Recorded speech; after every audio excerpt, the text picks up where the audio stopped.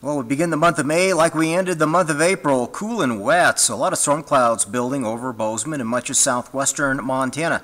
Hello, everyone. I'm Chief Meteorologist Mike Hurd reporting for KBZK.com and the KBZK Storm Tracker Weather mobile app. So we got this deep trough uh, that's been sitting over much of the western United States, and this is keeping things pretty cool and unsettled. And that continues into today, possibly even into tomorrow. We have a weak front moving in from the northwest as well. Some scattered higher mountain snows, a little bit of valley rain.